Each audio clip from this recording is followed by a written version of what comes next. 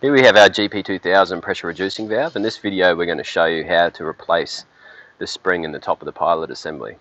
There's three different spring sizes. The size of the spring is actually the same but the tension is different. Now these represent a pressure range that you can set within. So here I've got a brown spring, a yellow spring and inside the unit you can see in the back of the notch on the pilot assembly there's a green spring. So you can easily identify by looking in at the colour of the spring. Now, if we're going to change this out, what we've got to undo is the four nuts on the top of the pilot assembly and this unit will come up. Uh, I've backed them off already with a 17mm socket. One thing to note is this screw on the top, this bolt on the top, sorry, sets the pressure range that you're reducing to. Now it does that by compressing on the spring which is on top of the diaphragm. So if this is wound in, when you back these bolts off, there's going to be tension in the unit as it wants to push against the spring. So it's probably best to make sure this is taken out, backed off.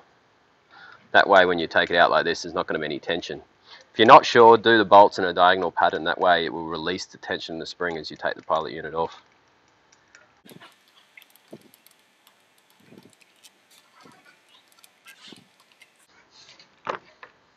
Now when you're taking this off, you just got to be carefully take it straight up underneath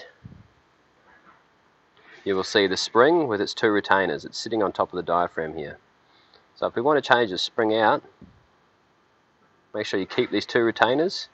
Say for instance we want to change it to a yellow spring, which is the smallest pressure range. You can see a difference in that spring visibly between the two. We would put it in there. When you put this top on, just make sure the bottom of the the bottom of the nut here sits in this groove on the top of the retainer.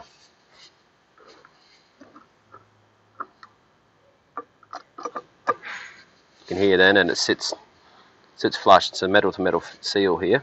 That's important. Then simply tighten up your four bolts. You set it with a torque wrench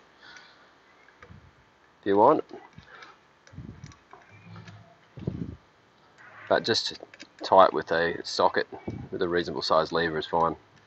And then you have changed the pressure setting range on your GP2000 pressure reducing valve.